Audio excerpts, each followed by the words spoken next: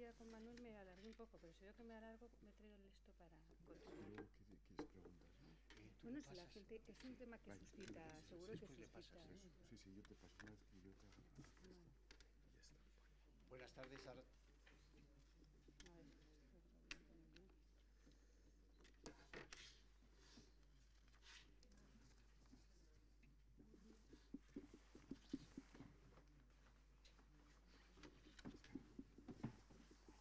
Creo que voy a congelar, pero eso me parece mal hablar con la chaqueta. Es que es, Sí, es un poco feo estar con esto puesto. Es que pensé que hacía más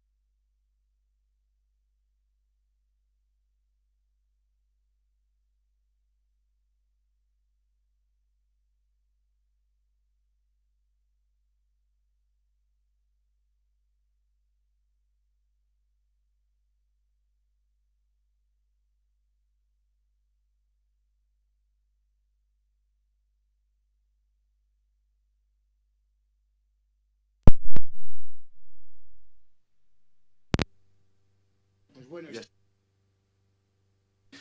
estaba eh, eh, programada el 17 de noviembre del 2017 eh, y no pudo venir por un, un fallecimiento familiar, pero hoy le tenemos aquí y va a hacer eh, su presentación eh, José Mario Urquía.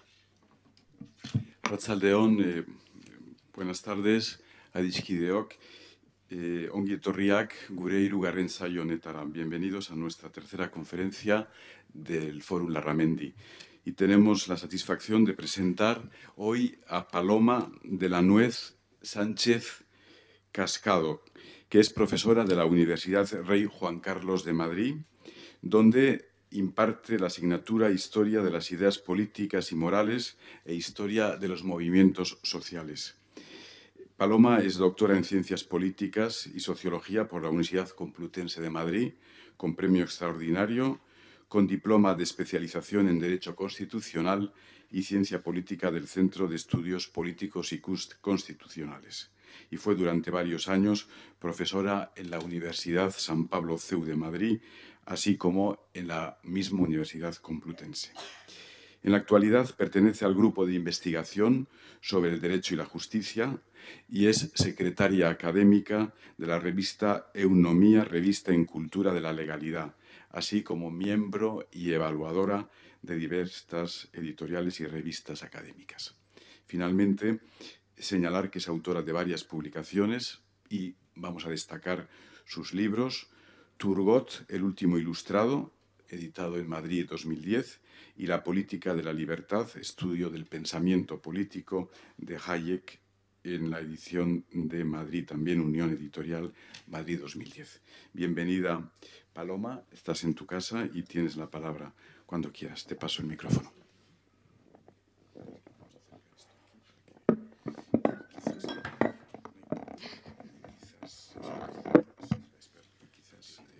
a ver,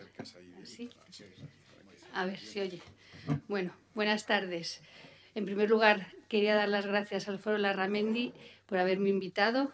Estoy muy contenta porque me gusta mucho San Sebastián. Vengo desde hace muchos años porque mi familia política es de aquí y porque mis amigos y colegas que han venido antes que yo al foro pues me han recomendado mucho la asistencia, me han dicho que es todo muy agradable, que se les trata muy bien y que era una suerte que me hubiesen invitado. O sea que muchas gracias.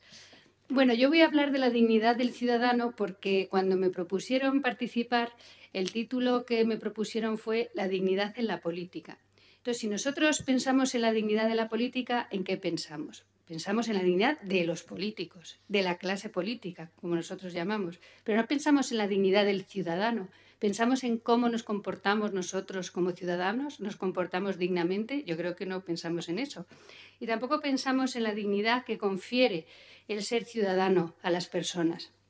Entonces yo pensé que era algo a lo mejor más interesante porque está menos eh, trillado ¿no? el tema de la dignidad de los ciudadanos, en los dos sentidos que he dicho antes. Si los ciudadanos se comportan con dignidad y si la ciudadanía confiere dignidad a las personas.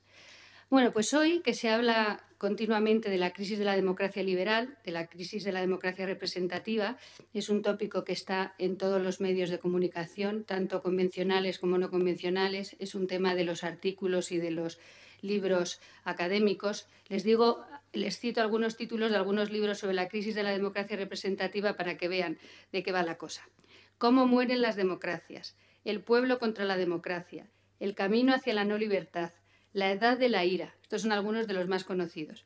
Bueno, pues estos libros que se hacen eco de esa sensación de que la crisis de la democracia es algo ya mm, que no se puede negar, pues hablan también de la responsabilidad que tienen los ciudadanos en la crisis de la democracia liberal o en la crisis de la democracia representativa que estamos viviendo. ¿Somos víctimas o somos culpables? ¿Tenemos los ciudadanos alguna responsabilidad en la crisis de la democracia? En general tiene que ver algo la salud de la democracia con cómo se comportan los ciudadanos? Bueno, pues la respuesta es evidente y es que sí. Una democracia no sobrevive sin una ciudadanía responsable y comprometida. Pero, sin embargo, yo creo, luego a lo mejor si hay debate ustedes pueden decir si opinan otra cosa, que no le damos importancia al hecho de ser ciudadanos, lo vivimos como algo natural, ni siquiera nos lo planteamos, lo damos por supuesto. Y se nos olvida que a lo largo de la historia los seres humanos, más que ciudadanos, han sido esclavos, siervos y súbditos. La ciudadanía es algo relativamente reciente en la historia y cuando se ha conseguido la conquista de la ciudadanía, no lo han conseguido todos a la vez y de la misma manera. Piensen, por ejemplo, en los esclavos negros en Estados Unidos, o los nativos americanos, o en los obreros, o en las mujeres, que todavía en algunas partes del mundo, como saben, no tienen todos los derechos de ciudadanía reconocidos. Entonces, claro, no valorar eh, la ciudadanía, darla por supuesto, pues es también empezar a perder su valor, porque esto pasa también en otras esferas de la vida. Que cuando damos las cosas por supuestas, no las cuidamos, no las valoramos y cuando las perdemos es cuando nos damos cuenta de lo importantes que eran. ¿no? Por tanto, es peligroso no valorar lo que significa ser ciudadano. Porque ser ciudadano no significa solo poder ir a votar si queremos, que no tenemos por qué ir si no queremos. sino que ser ciudadano nos garantiza una serie de derechos, derechos civiles, derechos políticos, derechos económicos y sociales, protección. No eh, ser ciudadano es no tener existencia política, no tener una identidad, que en cambio cuando eres ciudadano esa identidad se reconoce, se reconoce que perteneces a una comunidad política. Y desde luego, luego lo veremos, ser ciudadano tiene que ver con nuestra dignidad como personas. Imaginemos, en algún, en, pongámonos en la situación de que no fuéramos ciudadanos, que nos quitaran, nos arrebataran la ciudadanía. Tendríamos un montón de problemas, como los tienen los emigrantes sin papeles, los apátridas o los refugiados. Bueno, yo creo que para valorar un poco lo que significa ser ciudadano hoy en día y la responsabilidad que creo que los ciudadanos tienen y que tienen que asumir, hay que hacer un poquito de historia. ¿Cuándo empieza esto de la ciudadanía? Pues la ciudadanía es un invento de la antigüedad, de los griegos y de los romanos, fundamentalmente de Atenas y de Esparta, aunque también se dio en otras ciudades griegas de la época. Y en, en, la mentalidad antigua, ser ciudadano era algo que se llevaba y que se ejercía con dignidad, porque la ciudadanía era algo que honraba al individuo, porque la vida política era una actividad noble, hasta el punto de que no se era plenamente humano si no se era ciudadano para la mentalidad griega, ¿eh? por ejemplo, para los atenienses de la época de Pericles o para Platón, Aristóteles. Por eso no se entendía en Atenas, por ejemplo, en Atenas del siglo V antes de Cristo, ¿no? que es la época de, esplendor de Atenas, no se entendía que un ciudadano que tuviera todos los derechos eh, para poder participar en la vida política no lo hiciera. Se les llamaba idiotes, porque no se podía comprender que teniendo todos los derechos no los quisiera ejercer. También, por ejemplo, ser condenado al ostracismo, que era un exilio de 10 años, era considerado el peor de los castigos. Lo peor que le podía pasar a un ciudadano es que lo echaran de su comunidad política. Algunos preferían la muerte antes que el ostracismo. Como decía Aristóteles, lo sabrán ustedes muy bien porque es una frase archiconocida, el hombre es un zoón politicón, un animal político, es decir, un, un animal destinado a vivir en una comunidad política, en una ciudad, en una polis decía, solo los dioses y, los, eh, y las bestias pueden vivir fuera de una comunidad humana. Pero no se trataba de ser ciudadano de cualquier manera, sino que había que serlo con arete, es decir, con ética, con virtud, ser un ciudadano virtuoso. ¿Y qué significaba en esta época ser un ciudadano virtuoso? Pues básicamente saber poner el interés eh, común, el interés general, el bien público por encima del interés privado. Y saber, dice Aristóteles, tanto gobernar como saber ser gobernado. Porque la política la entendían los griegos como una dimensión de la vida moral, necesaria para buscar la justicia y para vivir bien. Seguramente la ciudadanía en la antigüedad era también valorada porque era un privilegio, esto también hay que decirlo.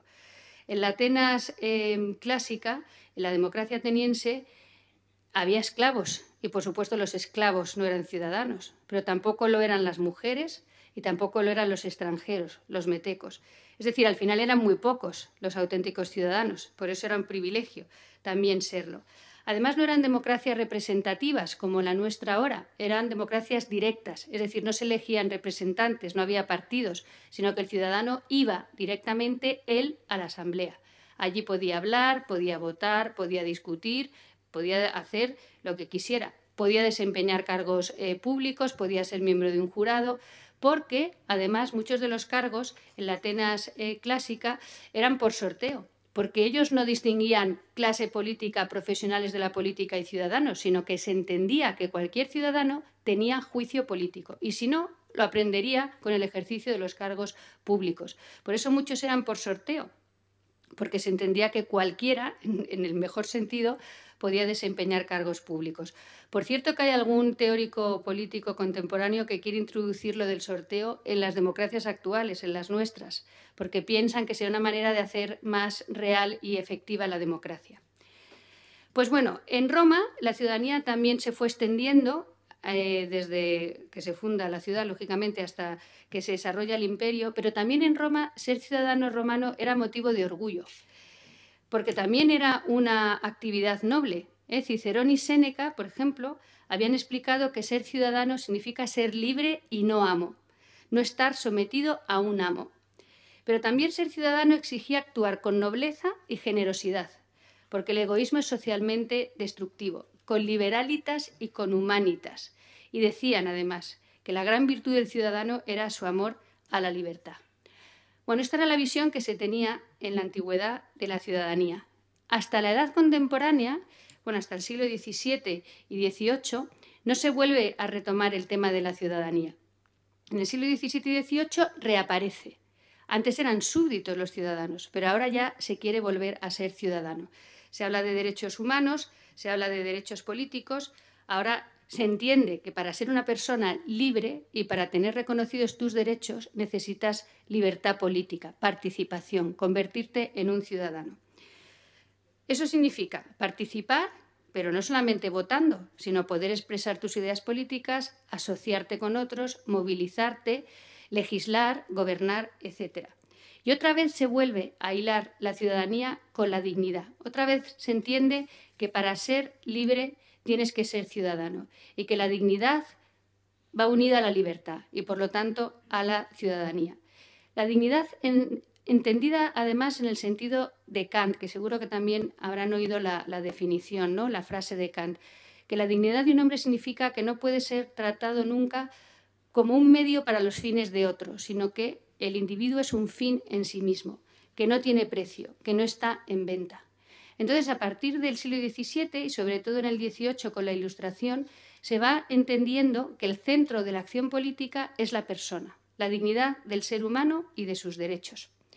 En el siglo XIX se va extendiendo el liberalismo y la democracia, primero con la Revolución Americana de 1776, que funda los Estados Unidos de América, y luego con eh, la Revolución Francesa de 1789 que seguro que también conocen su famosa Declaración de Derechos del Hombre y del Ciudadano del mismo año, pero no tanto la Declaración de, de los Derechos de la Mujer y de la Ciudadana, que redactó una mujer que luego fue guillotinada unos años después, como protesta al texto de la Declaración de los Derechos del Hombre que no contemplaba que las mujeres pudieran ser ciudadanas. Pero bueno, a medida que se van democratizando los estados, que van pasando del liberalismo a la democracia, se va luchando por la ciudadanía, sobre todo aquellos que estaban excluidos de ella, como he dicho antes, pues los obreros o los pobres que no tenían renta o educación, o eh, las mujeres, por supuesto, o los negros o, cualquier, o cualesquiera otros grupos que, por los motivos que fueran, no tenían acceso a la ciudadanía. Y estos individuos que luchaban por conseguir la ciudadanía durante el siglo XIX sobre todo y también en el XX, lo hacían no solo porque quisieran votar o ser elegidos, es decir, adquirir el sufragio activo o pasivo, sino que necesitaban ser reconocidos como ciudadano, porque si no eras reconocido como ciudadano, tenías dañada tu autoestima y tu autorrespeto.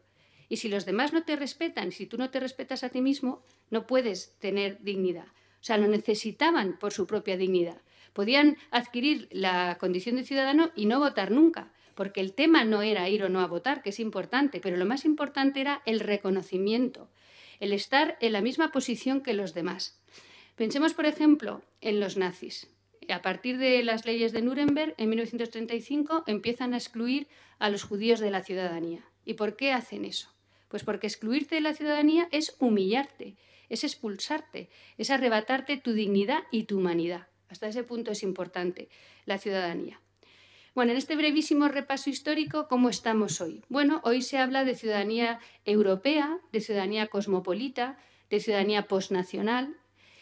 Esta tampoco es una idea tan original como parece, porque están los estoicos. ¿eh? Los estoicos son los primeros en hablar de una humanidad sin fronteras, unida solo por los derechos comunes a todos los seres humanos y por la igualdad de la naturaleza humana. Pero luego esa idea se ha retomado siglos más tarde y ahora hay filósofos, por ejemplo Adela Cortina, entre nosotros, que defiende esa idea de una cosmópolis universal, de una ciudadanía universal. Sin embargo, aunque la idea puede parecer atractiva, por lo menos a algunos, no parece fácil de llevar a cabo. De hecho, lo que estamos viviendo ahora es más bien lo contrario, un repliegue sobre la identidad, identidad racial, sexual, cultural, nacional, pero más bien, en vez de abrir las fronteras, las estamos cerrando, cosa que parece o parecía paradójica en un mundo tan global y tan abierto como es el nuestro ahora. Bueno, volvemos al tema de la crisis de la democracia liberal de la actualidad. Vuelvo a este tema porque una de las razones de la crisis no es solo esta, pero es, una, es la desafección ciudadana. Seguro que también habrán oído hablar de esto porque también es un tema típico de los medios de comunicación. Es decir, la gente ha perdido la ilusión por la política. Por ejemplo, no vota, salvo excepciones. Sube muchísimo la abstención. Hay gente que no sabe ni siquiera cuándo son las elecciones. No se afilian a partidos, no se afilian a sindicatos, no se movilizan. Sobre todo la gente joven, que es muy preocupante. No confían en los políticos. Les cuento una anécdota de mis alumnos. Yo doy clase de historia de los movimientos sociales, unas clases de ciento y pico, ¿eh? Y un día comentábamos en clase lo importante que son los movimientos sociales para cambiar la historia y para conseguir cosas positivas. Por ejemplo, el movimiento de Martin Luther King a favor de los derechos civiles. ¿no? Entonces, todos entusiasmados, chicos de 18, 19 años, de lo que son los movimientos sociales todas las aportaciones que habían hecho, etc. Y, luego digo, bueno, por curiosidad, ¿cuántos estáis en algún movimiento social o en una ONG o colaboráis, yo qué sé, con algún partido, las juventudes o en alguna fundación? Bueno, de ciento y pico, tres o cuatro levantaron la mano. Entonces, es muy importante los movimientos sociales, pero yo no estoy en ninguno. ¿no? Esa es un poco la conclusión. Entonces, ¿por qué pasa esto? ¿Por qué esta desafección de la, política que sienten los ciudadanos? Esto es general, ¿eh? en todo Occidente, no es una cosa solo de nuestro país. Bueno, la primera causa que siempre se cita de la desafección de los ciudadanos respecto a la política es la corrupción. La corrupción es una de las mayores causas del descrédito de la política. El daño que hace es inmenso.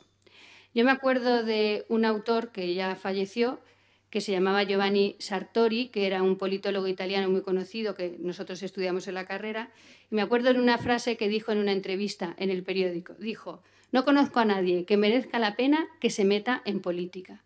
Hombre, es bastante injusto, ¿no? Porque no todos los políticos son corruptos, pero hay mucha gente que piensa, todos los políticos son iguales, ¿no? Y entonces, ¿para qué vamos a participar? ¿Para qué vamos a votar? ¿Para qué nos vamos a involucrar? Y entonces al final dejamos la política en manos de personas, mejores o peores, pero nosotros nos desatendemos de algo que es, sin embargo, fundamental y que tiene consecuencias importantes.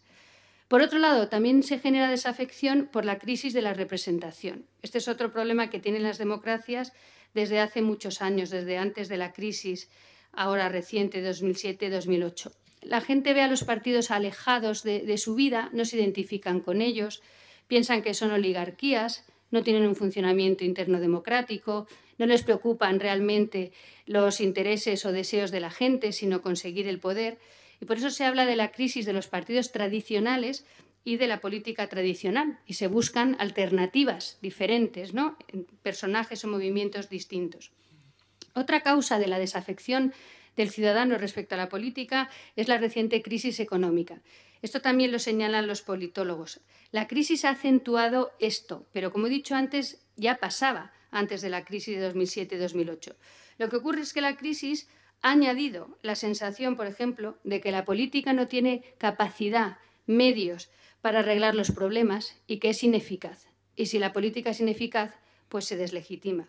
Por ejemplo, se piensa que el Estado ya no puede hacer nada frente a las fuerzas de la globalización, que no puede hacer nada contra los mercados desregulados, contra la evasión de impuestos, contra la formación de oligopolios, contra las multinacionales. Se cree que el Estado tampoco tiene ya los medios para asegurar la justicia social, para mantener el estado de bienestar. La gente ha perdido la confianza en las élites, ha perdido la confianza en los políticos, se siente frustrada y engañada. Y eso es lo que provoca que se busque, como decía antes, otras alternativas a las tradicionales. ¿no? Incluso se suma a esta eh, sensación la idea de que el Estado Nacional, en este mundo globalizado, tampoco puede controlar ni hacer nada respecto a los nuevos desafíos, el cambio climático, los refugiados, la manipulación de las noticias, las nuevas tecnologías, no digamos ya frente al cambio climático o el terrorismo internacional. Si este panorama mm, es bastante sombrío, hay además que añadir otros fenómenos políticos recientes, pero que también contribuyen a la degradación de la ciudadanía. Uno que ya sé que conocerán porque estuvo Manuel Arias hablando de este fenómeno en el ciclo anterior o el anterior al anterior, que se llama la sentimentalización de la política. Es decir, resulta que los ciudadanos no son tan racionales como se pensaba, sino que la política, que era el reino de la racionalidad, por ejemplo, para los griegos, pues ahora se ha convertido en algo emocional y sentimental. En cambio, a nosotros nos habían dicho que vivir en un régimen democrático iba a tener un efecto saludable sobre el carácter, que el propio sistema, a través de las leyes, las instituciones, las normas, los costumbres, los principios, educaba, que la libertad tenía efectos pedagógicos. Y sin embargo vemos que en vez de ciudadanos educados, pues a veces, no sé si ustedes usan Twitter o si lo conocen, pero no parece que estén muy educados los ciudadanos en Twitter, por ejemplo. En lugar de la deliberación racional, del uso público de la razón, del que habla Habermas, que es un filósofo alemán muy importante, en vez de discutir dentro de las instituciones, llegar a acuerdos, trabajar conjuntamente, la gente sale a la calle, la gente exige que se tengan en cuenta sus emociones y sus sentimientos. Como si por tener sentimientos uno ya tuviera razón o como si los sentimientos y las emociones no se pudieran someter a escrutinio racional, o como si los sentimientos y emociones no pudieran estar manipulados o basados en creencias falsas o dañinas o peligrosas. Pero esta situación además provoca algo que también han visto los politólogos, la infantilización del ciudadano, porque la mente emocional es una mente infantil. Hay un neurólogo que no sé si conocen porque es bastante célebre, porque hace libros de neurología pero muy divulgativos, muy atractivos, que se llama Antonio Damasio.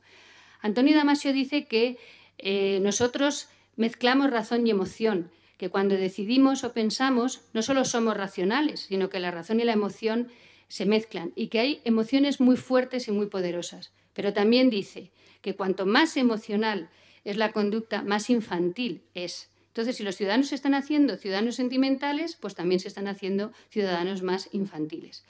Claro, esto es un desafío muy grande para la democracia liberal, porque si en vez de discutir con personas que apelan a la razón, a los hechos o a la realidad, solo apelan a sus pasiones, instintos y emociones, pues es muy difícil llegar a algún acuerdo, ni siquiera entenderse. Este tema de la eh, sentimentalización de la política ha llegado incluso eh, a la economía. Por ejemplo, los teóricos que estudian el comportamiento económico han dejado de pensar, como se ha creído durante por lo menos dos siglos, que el hombre cuando actuaba en el mercado era un ser racional, calculador, que sometía sus pasiones a la razón, que hacía un análisis coste-beneficio antes de tomar cualquier decisión, pues ahora los últimos premios Nobel de Economía son psicólogos y economistas porque también han comprobado que tampoco el ser humano cuando actúa en el mercado es totalmente racional. Y como decía antes, esto eh, tiene repercusiones políticas, tiene consecuencias eh, políticas. Si además añadimos a todo eso que los últimos descubrimientos científicos van por la línea de decirnos y asegurarnos que no tenemos libre albedrío, que la libertad no existe, porque el ser humano está sometido a la química, a los genes, a las neuronas o a todo esto junto. Por ejemplo, también hay un bestseller que a lo mejor también conocen, uno que se llama Homo sapiens, de un autor que se llama Harari, que dice tajantemente el ser humano no es libre y más vale que vayamos asumiendo que el libre albedrío no existe, porque estamos sometidos a la biología. Por lo tanto, ¿para qué hablar de libertad del ciudadano ni nada por el estilo? Si a todo esto añadimos a la sentimentalización de la política las nuevas tecnologías, pues eh, todavía la cosa se complica más, porque las nuevas tecnologías, aparte de fomentar esta sentimentalización, también fomenta la democracia que algunos llaman de las audiencias o del escándalo. ¿Qué es lo que vende? El escándalo. Es que es una realidad. Entonces, la política se dedica a hacer, eh, los medios perdón, de comunicación las nuevas tecnologías sobre todo se dedican a hacer eh, escándalo de la política y convertir la democracia en una democracia, como digo, de las audiencias. Leía también el otro día en la prensa eh, una cosa que me llamó la atención. Seguro que ustedes conocen el programa de La Clave que se hacía hace años en televisión. Yo me acuerdo que era niña, pero me acuerdo que era un programa con prestigio que veían mis padres en casa, ¿no? Bueno, y decía, no me acuerdo quién era, lo comentaba alguien en un periódico, ¿cuánta gente aguantaría hoy un debate como los de La Clave?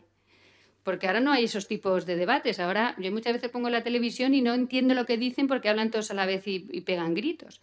Entonces, claro, si ese es el ciudadano que tenemos hoy en día, pues tenemos eh, bastantes problemas. Algunos llaman a, a, a estos nuevos ciudadanos ciudadanos digitales. Y bueno, pues no sé si serán mejores que los ciudadanos de antes, ¿no? los tradicionales de toda la vida, pero por ahora la verdad es que la cosa asusta un poco. Quería también citar aquí unas eh, palabras de Ortega y Gasset cuando hablaba del hombre masa, porque como todos los clásicos lo que dicen siempre es algo actual. Yo creo que puede definir muy bien a qué se parece esta ciudadanía digital. Dice Ortega sobre el hombre masa. El hombre masa es insolente, vulgar y solitario. Se comporta como el niño mimado de la historia. Bueno, no quiero decir que todos los ciudadanos sean así, ni mucho menos, pero a veces parece que con las nuevas tecnologías se fomenta ese tipo de ciudadanía. Además, con las nuevas tecnologías el tiempo se acelera, todo cambia muy rápido, todo dura muy poco y claro, esto también va en contra de la lógica de la política. La política necesita sosiego, tiempo y reflexión. Para algunos el panorama es tan desolador que nos pintan un futuro distópico. Es decir, en vez de ir a más libertad, iremos a menos. Hablan incluso de ciberdictadura, ¿eh? Debido a las nuevas tecnologías acabaremos siendo manipulados y dominados y sometidos como nunca antes en la historia de la humanidad. Bueno, como ven, el panorama es bastante sombrío. Luego acabaré con un mensaje más optimista. ¿eh? Pero primero quería mostrar un poco las dificultades de la ciudadanía en la actualidad. ¿Qué consecuencias tiene todo esto? ¿Qué he dicho hasta ahora? Bueno, pues la que yo creo que es más común es la de retirarse al mundo privado. ¿Para qué voy a participar en política? ¿no? no tiene ningún sentido implicarse, no sirve para nada. Y además tiene muchos costes. La reputación, el escrutinio público, porque ahora, vamos, se sabe en tu vida, sacan todo lo que puedas tener, bueno o malo. Hasta el tiempo y el dinero, también ese, ese es un coste. Entonces hay mucha gente que decide directamente pues, no preocuparse de los temas políticos, no intervenir y no participar. Esto genera también otro resultado que antes ha salido un poquito en mi exposición, que claro, cuando los buenos se apartan, pues ese hueco lo cogen otros que a lo mejor no son tan buenos. Esto pasa también en los trabajos y en otras facetas de la vida. Cuando renuncias a participar, ese hueco alguien lo, lo eh, cogerá. Este, esta situación, eh, fíjense cómo son los clásicos, como decía antes, ya la vieron autores del siglo XIX, como el francés Alexis de Tocqueville, que se fue a Estados Unidos a ver cómo era la democracia allí, porque Alexis de Tocqueville estaba convencido de que la democracia era el futuro de la humanidad, que era el destino de la humanidad y que era algo querido incluso por Dios. Entonces quería ver cómo era la democracia in situ, cómo funcionaba de verdad. Entonces se pasa allí ocho meses, escribe dos libros maravillosos, sobre todo el segundo, que son clásicos, ¿no? Y eh, nos cuenta que una de las cosas que más le llamó la atención era el individualismo de los americanos, en esa democracia eh, que acababa de surgir. Y déjenme que lea también eh, unas frases de Tocqueville porque, insisto, me parecen muy actuales. Hablando de cómo vivían los americanos, ese individualismo que a él le preocupaba en la democracia que acababan de fundar. Dice, ve una multitud innumerable de hombres iguales y semejantes que giran sin cesar sobre sí mismos para procurarse placeres ruines y vulgares con los que llenan su alma. Retirado cada uno aparte, vive como extraño al destino de todos los demás. Se halla al lado de sus conciudadanos, pero no los ve. No existe sino en sí mismo y para él solo. Y si bien le queda una familia, puede decirse que no tiene patria. ¿Eh? No me digan que algunas de esas cosas se podrían aplicar perfectamente a la actualidad. Si una consecuencia es el retiro a la vida privada, al mundo privado, otra alternativa es la que también ha salido antes por aquí, que son las alternativas que llaman algunos politólogos antipolíticas. Es decir, como la política tradicional, la democracia representativa liberal, nos sirve, nos ha defraudado, entonces buscamos alternativas. Algunos hablan de democracia iliberal, de otros modelos, o votan, como digo, personajes o movimientos que em, recogen esa rabia y esa frustración de la gente que promete las cosas que la gente necesita oír, que hace que el pueblo se sienta como víctima. También a veces proponen volver a mecanismos de democracia directa, como las que había en Atenas, como he dicho antes, el sorteo o usar más referendos, por ejemplo, ¿no? o obligar o incentivar a que la gente participe en los asuntos eh, políticos, públicos. Por ejemplo, en Madrid, donde yo vivo, se han hecho algún tipo de experimento ¿no? para que la gente, eh, normalmente en barrios, a nivel local, pueda elegir o decidir. Bueno, la verdad es que no han tenido mucho éxito en el sentido de que han participado muy pocos, mucha menos gente de la que se esperaba. Pero yo también les digo a veces a mis alumnos, yo no sé aquí, pero en Madrid hay muy pocos padres a veces en las reuniones de padres del colegio o en las reuniones de vecinos, que a veces van poquísimos. Entonces yo digo, si no van a las reuniones de vecinos, que es tu casa, y no vas a la reunión del colegio de tus hijos, pues confiar en que la gente vaya a participar en los temas políticos a lo mejor es una ingenuidad o a lo mejor no. Y esto luego también lo podemos discutir eh, si hay debate. En definitiva, después de este panorama, como decía, un poco deprimente, ¿se puede hacer algo para recuperar la dignidad eh, política y cívica del ciudadano? Bueno, pues en primer lugar, yo creo que hay que aprender que el ciudadano no nace, sino que se hace. Como he dicho al principio, que hay que valorar qué significa ser ciudadano. Y repito, es un modo digno de vivir un individuo libre y forma parte de lo que consideramos vivir una vida buena, que merezca la pena.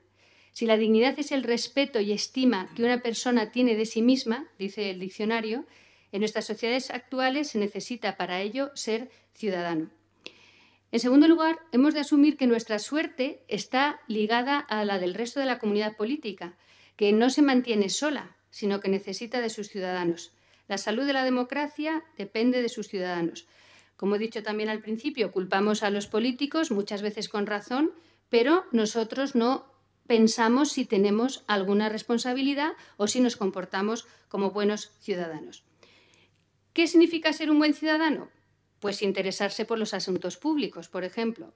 Puede ser participar, puede ser votar. En algunos países el voto es obligatorio y si no votas te ponen una sanción pero no hace falta que sea obligatorio. Tampoco el voto es lo más importante, aunque es importante. Ya decía Rousseau, que era un filósofo ginebrino del siglo XVIII, que escribió sobre la democracia, dice, no, los ingleses se creen muy, libres porque votan cada cierto tiempo, porque en su época eran los primeros que votaban. Pero decía, pero entre elecciones no son libres. Es decir, votar es una condición suficiente, eh, necesaria, pero no suficiente. Tampoco esto quiere decir que para ser un buen ciudadano uno tenga que estar eh, dedicado a la política día y noche si no quiere. Eh, pero se pueden hacer otras muchas cosas. Por ejemplo, votar con responsabilidad, informarse para tener capacidad de juicio, para que no le manipulen a uno, para que uno pueda ser capaz de juzgar por sí mismo y sobre todo asumiendo que nuestras decisiones políticas van a tener repercusiones en la vida de todos. Además, uno puede ser un ciudadano activo y comprometido desde lo que se llama la sociedad civil.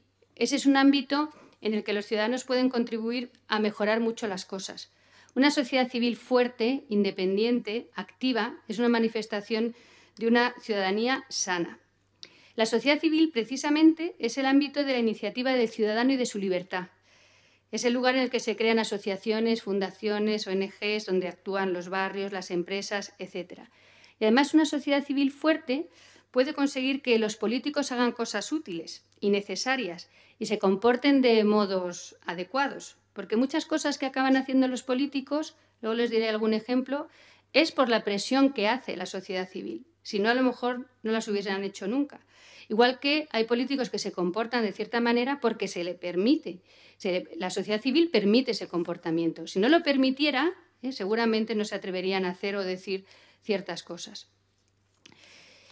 Hay además incluso pensadores políticos que dicen que nuestro comportamiento privado tiene consecuencias públicas y que el carácter de la ciudadanía y la forma del gobierno se moldean mutuamente. Por ejemplo, un ciudadano que se, que se comporta con dignidad, pues respeta al adversario, no lo insulta, no incita al odio, obedece las leyes, las sentencias, al gobierno, aunque no lo haya votado, respeta a las instituciones y a las personas que representan, pues muchos seguramente de ustedes dirán, yo ya hago todo eso, o sea que yo no me puedo reprochar nada como ciudadano. Pero hay autores todavía que van más allá y dicen, bueno, es que se puede ser un mal ciudadano por no hacer nada, por indiferencia, por lo que dice una autora que a mí me gusta mucho, que ahora está muy de moda, ya fallecida, pero que vivió una infancia muy triste, perseguida por los nazis y luego por los comunistas porque era judía, Judith Sklar, decía que existe la injusticia pasiva. Y esta idea de la injusticia pasiva ella la toma de Cicerón, tampoco es una idea original suya. Es decir, ella lo dice, no se trata de que los ciudadanos tengan que ser héroes o santos, porque una democracia normal no tiene por qué exigir ese comportamiento de sus ciudadanos. Pero muchas veces en nuestra vida cotidiana dejamos que pasen cosas injustas simplemente por no molestarnos, por no tener un, mal rato, por no mm, llevarnos un disgusto, porque es una situación incómoda. Pensemos, por ejemplo, en los denunciantes de corrupción. Y pongo este ejemplo porque conozco casos cercanos. Son muy pocos los que denuncian la, la corrupción, porque siempre es algo que te va a generar problemas, las cosas como son. Incluso muchas veces no te entiende tu familia, ni, tu esposa, tu esposo, ni tus hijos, ni tus amigos. ¿Para qué te metes en esos follones? Te vas a cargar tu carrera política o profesional. Bueno, pues hay gente que a pesar de eso y de que le ha pasado de todo, ha denunciado estos casos de corrupción. Y cuando les escuchas y les oyes hablar, ¿qué es lo que dicen? Que no podían callarse por pura dignidad. Esa es la palabra que utilizan porque no podían permitir, dicen, que pasara algo que iba contra su conciencia y con, por ejemplo, su modo de entender el servicio público, porque muchos eran funcionarios. O sea, entendían que como ciudadanos no podían permitir ciertas cosas. Y además este es un ejemplo bonito que a mí me gusta señalar, porque como decía antes, los denunciantes de corrupción han conseguido, gracias a la movilización de la sociedad civil, que eh, haya ahora incluso una, directiva europea para proteger a los denunciantes de corrupción. Bueno, pues eso es un ejemplo ¿no? de, lo que es un comportamiento digno de ciudadanos normales y corrientes. No se crean que son personas especiales o destacadas. Muchas veces son funcionarios, digamos, con una carrera profesional de lo más normal, pero que no pueden, como dicen ellos, permitir que pasen ciertas cosas porque no podrían acostarse tranquilos, ¿no? Por una cuestión de propia dignidad. Pero bueno, hay otros muchos ejemplos que seguro que ustedes también eh, pueden añadir a estos de la denuncia de la corrupción, ¿no? de injusticia eh, pasiva. Pero para que vean, como decía esta autora, que estos eh, comportamientos pasivamente injustos o indiferentes tiene consecuencias para la democracia de todos los días. Si queremos los beneficios de la libertad y de la democracia, pues habrá que hacer algo también por ella. ¿Qué se puede hacer? Bueno, aquí hay también propuestas y seguro que también si hay debate las podemos discutir. Hay eh, politólogos que dicen que hay que educar a los ciudadanos. ¿En qué? Pues hay que educarlos en el, en el conocimiento del funcionamiento de las instituciones. Es decir, cómo funcionan las instituciones del país en el que viven, porque hay veces que la gente, y me pasa con mis alumnos, que bueno, son de primero, son muy jovencitos, no saben a quién votan cuando ya van a votar, ya tienen 18 años, pueden ir a votar, pero no saben a quién están votando, si están votando directamente al gobierno, al presidente, o no saben muy bien el Parlamento qué hace, o cuántas cámaras tiene, o qué hace el rey. Bueno, pues conocer el funcionamiento de las instituciones del país bajo el que vives también podría ser una responsabilidad ciudadana. Y sobre todo porque así conocerás tus derechos, pero también tus deberes y tus obligaciones. No solo tenemos derechos, sino también deberes.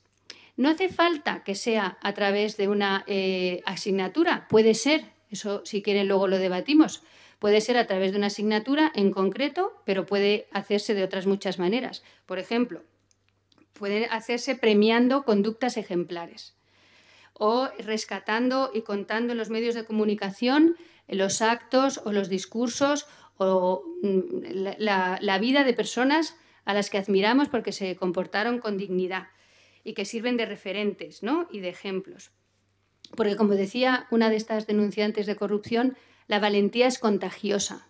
A mí me gustó mucho esa frase cuando la leí, porque yo la verdad pensaba que más contagioso era el miedo que la valentía, pero esta mujer que sabía de lo que hablaba decía justo lo contrario. Algunos politólogos incluso proponen estudiar las emociones, ya que vivimos en una democracia sentimental, y luchar contra las emociones que disgregan, que separan a los ciudadanos, como la ira, el resentimiento, el odio, y sustituirlas por emociones políticas que unen y que contribuyen a la ética pública y, al objetivo de mejorar nuestras democracias. Por ejemplo, hay autoras, en concreto una americana que se llama Marta Nussbaum, que recibió el Premio Príncipe de Asturias, que habla de la empatía, de la compasión y del amor aplicado a la política. En fin, la teoría política asume que la ciudadanía es expresión, como decía antes, de la dignidad de todos, que un ciudadano que se comporta con dignidad es el que alienta proyectos que buscan la justicia y que reconocen el valor de la persona y contribuyen a mejorar la vida común. En última instancia, y ya termino, quizás tenía razón el filósofo inglés John Stuart Mill cuando escribía que el valor de una nación no es otra cosa que el valor de los individuos que la componen. Muchas gracias.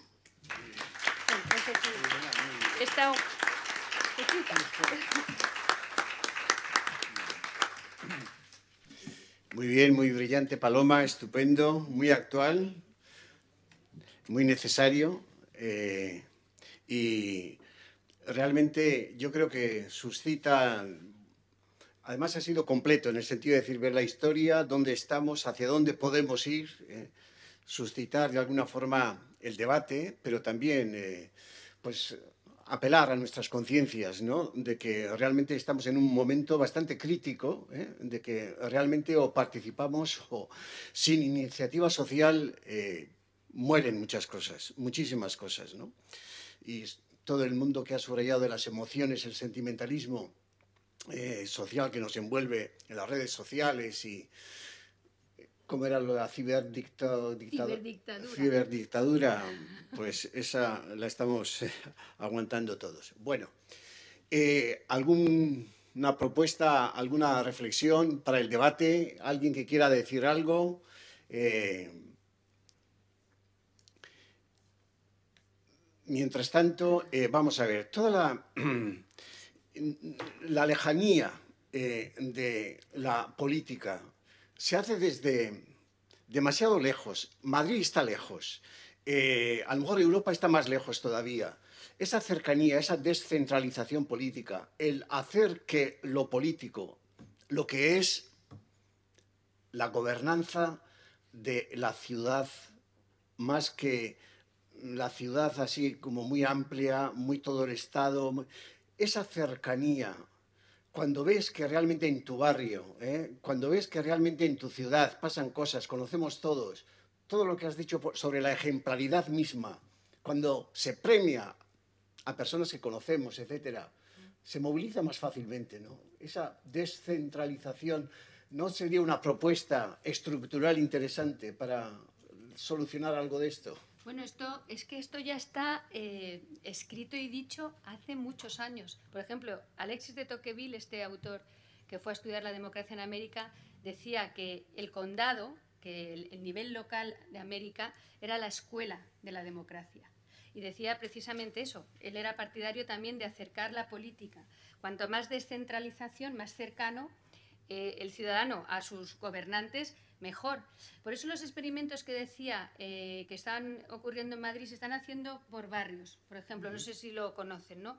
Eh, pues si, no sé, no me acuerdo con las propuestas, pero a lo mejor vamos a suponer que es construir un parking o alguna cosa de estas. Ah, sí, cambiar el nombre de un parque también. Bueno, pues eso se hacía con la idea de que si tú vas educando de esta manera a los ciudadanos a participar, aunque al principio cueste y sean pocos, a lo mejor acaban siendo al final más. Por ahora no han tenido mucho éxito en cuanto a participación, o sea que ha habido poca gente. Y eso que era a ese nivel, ¿eh? a nivel, digamos, de barrio cercano. Pero esa, esa podría o debería ser una solución. Pasa que yo soy escéptica por lo que he dicho de lo de los vecinos y de los colegios, porque más importante que eso. Y, y tú vas a una reunión de vecinos, no sé la experiencia, a lo mejor aquí San Sebastián es distinto, pero en Madrid es muy normal que en las reuniones de vecinos vaya muy poca gente. Y, o que incluso es que no quieran ir. Y si quieran liberar de aquello, bueno, ya si te toca ser presidente de la comunidad, pero lo del colegio de los niños es más llamativo todavía, ¿no? Porque ¿qué son tus hijos? O sea, que no sé, sí que se, eso que dices se ha dicho y se ha escrito y se ha considerado que la descentralización favorece el contacto del ciudadano con el gobernante. Y yo creo que sí, que en general sí, pero bueno, que tampoco parece que sea la panacea. A lo mejor hay que ir buscando varias soluciones, ¿no? A la vez. Luego es que ahora el mundo es tan ha cambiado tanto y tan rápidamente, porque claro, ahora yo he dicho lo de las nuevas tecnologías eh, en un tono muy negativo, pero también las nuevas tecnologías también tienen eh, aspectos positivos para la ciudadanía. Por ejemplo, te puedes informar mucho mejor, porque puedes leer en- de muchísimos sitios muchísimas cosas. Si tienes la mente abierta y curiosidad y no quieres que te manipulen, puedes mm, en Internet navegar y, y leer un montón de cosas. Te pones en contacto con gente que a lo mejor está haciendo algo que a ti te interesa, que te gusta, ¿eh? algo positivo, algo constructivo.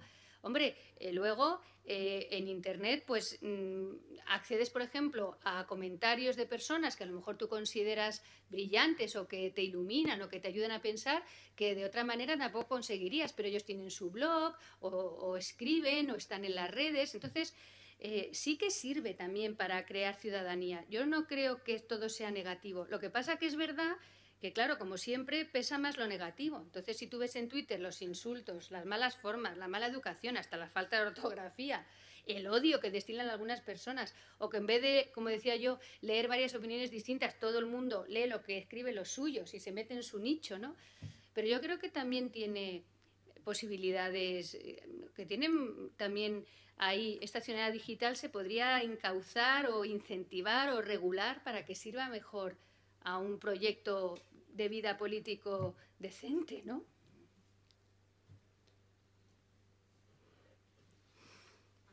Sí, sí.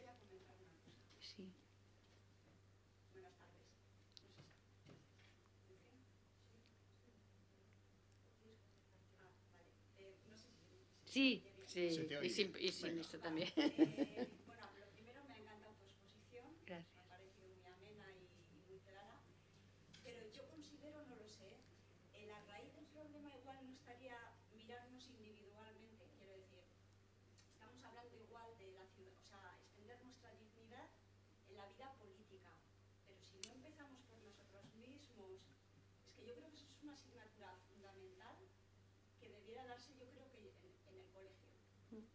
A mí me han llegado a decir que yo no me siento digna en una sesión de Reiki y es fuerte, no, no, no, pero es verdad, yo lo he sentido. Quiero decir que si tú por tu poca autoestima, por cosas que te han pasado en la vida, eh, no te sientes como valiosa como persona, ¿cómo vamos a participar y a, a ser buenos ciudadanos con los demás? O- ¿Se me entiende la idea? Sí, perfectamente. Quiero decir, entonces, para extenderla, yo creo que, o sea, individualmente tendríamos que, que sentirnos dignos, valiosos, y entonces extenderíamos el respeto a los demás. Yo creo que eso sería una asignatura, pero como matemáticas, como cualquier otra asignatura. Bueno, dicen, bueno, no sé si sabe, pero hay propuestas de educación emocional en los colegios, ¿no? Para este tipo de, de cosas, porque además como ahora la neurociencia ha descubierto esta relación tan fuerte de las emociones con la razón, no pensamos bien ni decidimos bien si no es también contando con las emociones. Pues, eh, y como ahora vivimos en democracias sentimentales, algunos proponen esa educación emocional. Porque si uno no tiene autoestima, no la puede enseñar. Y si uno no se siente digno, es difícil que pueda eh, enseñar o compartir esa dignidad. Pero fíjese que también pasa al contrario. No ser ciudadano es un daño a tu, autoestima total. Esta autora de la que yo hablaba, Judith Sklar, como tuvo una vida dura y difícil, pues es- era muy sensible a, la gente que estaba en situación de vulnerabilidad, a las minorías étnicas, etcétera. Y como luego ella se fue a vivir y se quedó en Estados Unidos, hablaba mucho de, de los negros, ¿no? Que los negros ya eran ciudadanos, ya habían conseguido sus derechos eh, civiles, etcétera. Pero ella decía, han estado tanto tiempo sintiéndose excluidos, no reconocidos, no siendo ciudadanos, que tienen esa dignidad y esa autoestima dañada. Pero si encima te quitan la ciudadanía o no te reconocen como ciudadano, pues eso todavía es más difícil de, superar. Pero, a ver, ¿quién no tiene un poquito dañada la autoestima? ¿Eh? ¿O todo el mundo va por la vida? No sé, yo creo que tampoco debería ser un impedimento. Además, puedes ganar dignidad y autoestima haciendo algo por el bien de la comunidad. ¿no? Pero tiene por qué ser una cosa política. Como digo antes, pues en la sociedad civil hay muchísimas cosas que se pueden hacer.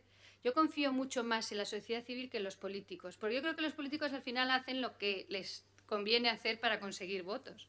Entonces, si la sociedad está demandando, por ejemplo, protección a los denunciantes de corrupción, la está demandando, pues al final se empiezan a mover fundaciones, organizaciones de otro tipo, en la academia, fuera de la academia, cualquier persona corriente, pero que quiere colaborar, buscando dinero, financiación, metiéndose en Internet y poniendo todas las noticias para hacerlas circular. Pues cada uno con su pequeño papel, pues está contribuyendo a una causa que a mí me parece una causa noble. Es que yo, ya digo, por circunstancias de la vida he conocido denunciantes de corrupción y es gente admirable, pero es gente normal y corriente, que de repente se encuentra en una situación pues rodeada de unos actos que considera que no y se juegan todo, amenazas, insultos, bueno, chantajes de todo tipo, todo lo que se puedan imaginar. Y ahí están y han conseguido apoyo de la sociedad civil para eh, llegar lejos, que se oiga su voz, que se tenga en cuenta, que se conozcan sus casos, que antes no se conocían, estaban abandonados y aislados. Y eso ha sido la sociedad civil. Pienso yo, vamos, a lo mejor me equivoco. Mm, de la, de la exposición de Paloma hay muchas cosas, el concepto de ciudadano yo creo que es un concepto muy serio, como tú has dicho, es decir, lograr la capacidad de ser ciudadano. El problema es que todavía en muchos sitios no hay ciudadanos, hay siervos, sigue habiendo siervos y haber gente que no tiene la condición de ciudadano. Y yo creo que entre nosotros todavía ese concepto de ciudadano que exige sus derechos, que solicita, pues deja también pues diríamos muchos flancos. Ese es el problema que, que yo veo. Porque si hay una desafección hacia la política, al final los políticos no vienen de un ente fuera, los políticos vienen de la propia sociedad. Es decir, no son unas personas que han creado ahí, son de la sociedad. ¿Por qué esos políticos son distintos o van a tener unas características distintas al resto de la sociedad? Muchas veces es la misma, es decir, son reflejos de la sociedad. Es esa sociedad la que va a permitir que haya esos políticos, que haya esa corrupción, porque en ella yo entiendo que sigue habiendo conductas muy parecidas a esas. Si no, sería. Y también la calidad democrática es distinta aquí eh, y en Europa hay, yo creo que calidades democráticas distintas, creo yo. Es decir, ¿será la misma calidad democrática en España que en Francia, que en Inglaterra? Pues yo creo que no. Es decir, porque hay un concepto de ciudadano que él mismo es autoexigente. Por eso cuando tú has dicho los denunciantes de la corrupción y hemos leído el verdadero drama que han sufrido esos, eh, esa gente que ha denunciado la corrupción que, en este país ha sido notoria ¿no? y que es uno de los países cuya, corrup cuya, cuya corrupción es más grande, pero a nivel nacional. La corrupción no solamente radica en un sitio, es una corrupción que abarca muchas cosas, una más silente. El problema es que esos digamos que esa creación de una ciudadanía responsable, etcétera, es algo que requiere, yo creo que tiempo, que requiere eh, mecanismos de, de que, que, que, nos la creamos nosotros, pero el problema es que yo veo, cuando tú has dicho que hay un déficit democrático, ¿no? Sí. O un déficit de desafección política, ¿no será que la propia sociedad nuestra, es decir, nosotros, adolecemos también un poco de esos hábitos esa es mi reflexión, porque los denunciantes de corrupción, insisto, yo creo que han encontrado, salvo que tú has dicho que es la sociedad civil, yo por lo que mm, he leído, hay gente que, que lo ha pasado muy mal y que, y que entonces viene esa reacción de decir, yo para qué me voy a meter en líos si en el fondo, y me ha gustado mucho el concepto de eh, injusticia pasiva. Es que el problema es que muchas veces estamos en una situación de miramos para otro lado porque es más cómodo y nos comemos la vida. Bueno, son unas reflexiones al hilo de lo que tú decías que no sé si, si estarás no, de acuerdo o no. Eh, cuando estaba preparando la, la, conferencia, estaba pensando en lo que acabas de decir. Me van a decir que el ciudadano tiene los políticos que se merece, en cierto sentido, ¿no? Bueno, no sé, no sé, no sé si es demasiado tajante, a lo mejor con matices sí, pero por ejemplo estaba pensando, igual que no hacemos mm, cosas cotidianas por no molestarnos, por no tener, perdón la expresión, un mal rollo con alguien, etcétera, pero también a veces dejamos de exigir nuestros derechos también por un- con un poco de desidia. Es un ejemplo anecdótico, ¿no? Pero eh, tienes un problema en un restaurante y el niño sale con una infección y una bacteria. ¿Para qué vas a denunciar? ¿Para qué vas a los tribunales? ¿Vas a gastar dinero? El abogado te cuesta más que la indemnización que te van a dar. Te vas a pasar dos años. Entonces, yo pienso, pero es que hay que enseñar a que esto no se puede permitir. Y es una cosa menor dentro de lo que cabe. ¿No? Entonces hay que educar también, por ejemplo, que vean tus hijos que para eso están los abogados, que la sociedad tiene sus mecanismos de defensa, que no se puede permitir el abuso. Entonces, a veces hay que tener en cuenta, no, sé, es el dinero, no es el tiempo, es que es mi derecho. Y hay que educar en que tienes derechos y que el Estado está para garantizarlos y protegerlos. Entonces, esa es una cosa que para que veamos que a veces por cosas, digamos, por comodidad, no no es que estés haciendo ahí un gran sacrificio. ¿Para qué lo vas a hacer? Pues no, pues hay que educar, hay que educar a, tus amigos, a tu familia, a tus hijos, al funcionario, al de la empresa, a todo el mundo que no se permiten abusos. Pero si no, no tenemos, algunos dicen que no tenemos esa tradición por, por la dictadura y que nosotros no estamos educados en, en reclamar y en protestar y en exigir. Pero bueno, ya han pasado muchos años, hay mucha gente joven y yo creo que, eh, espero que la gente tenga otra mentalidad, ¿no? Porque ser ciudadano es una suerte, porque te, te garantizan estos derechos y esta protección. O sea, es que hay mucha gente en el mundo que, vamos, daría lo que fuera por ser ciudadano, como somos nosotros. Es que no valoramos, yo se lo digo mucho a los alumnos, no valoramos las cosas hasta que no las tenemos. Yo les pongo también un ejemplo. Imaginad que os pasa alguna mm, desgracia en un país donde hay un, no hay embajada española, pero hay una de un país de la Unión Europea. Bueno, pues por ser ciudadano europeo ya tienes una protección que otros no tienen la suerte de tener. Y a lo mejor a ti te sacan en un avión corriendo o, no sé, te prestan alguna ayuda. A que ahí sí que valorarías la ciudadanía europea o cualquier ciudadanía que te protegiera. Entonces, a veces hay que decir cosas evidentes, pero que son tan evidentes que no valoramos. ¿no? Muy bien. Luego, eh, yo creo que hay ciudadanos, pero no tengo voz. Sí, Sí, se oye perfectamente. Hay ciudadanos tremendamente críticos e injustos. Es decir, que no se valora por lo que ellos son o hacen. Eh, quiero decir, la expresión de todos, todos los políticos son iguales, son unos ladrones, son tal. Esto tampoco es nuevo. Hace años ya, una viñeta de Forges. Estaban hablando dos amigos y naturalmente bueno, lo mismo. Estos ladrones, estos políticos, tal, no sé.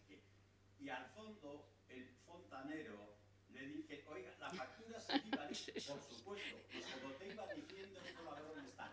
Esto aquí hay muchísimo. Sí, sí. Terriblemente críticos con los demás. Ahora, conmigo mismo, todos son tal, todos son... Pues no, señor, todos no. ¿Y tú cómo te comportas? No, lo mío es una bobada, comparado con tal. Nada autocríticos y terriblemente esto con los demás.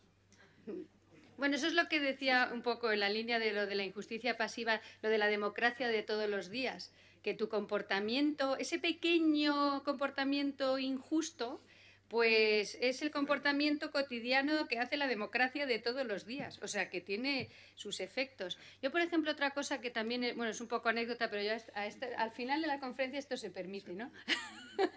No, pero por ejemplo, eh, yo tengo una amiga en Estados Unidos que ayuda a hijos de migrantes sin papeles, latinos, que tienen unas situaciones dramáticas que no nos podemos ni imaginar. Entonces, claro, ahora con el nuevo presidente de Estados Unidos, estos niños los deportan. Y mi amiga lleva allí con una fundación privada intentando por todos los medios, lleva años, ayudar a estos niños. Entonces, claro, yo pienso, la gente dice, no, yo le he votado a este señor, pero porque estaba enfadado, porque me daba mucha rabia, porque estaba contra el establishment, porque va a bajar impuestos. Y es lo que he dicho antes, sí, pero es que esos votos tienen consecuencias para la vida de alguien. Y usted está votando porque es un ricachón que le va a bajar impuestos o porque está muy enfadado, pero no le pasa nada malo en su vida, y con ese voto este niño lo deportan.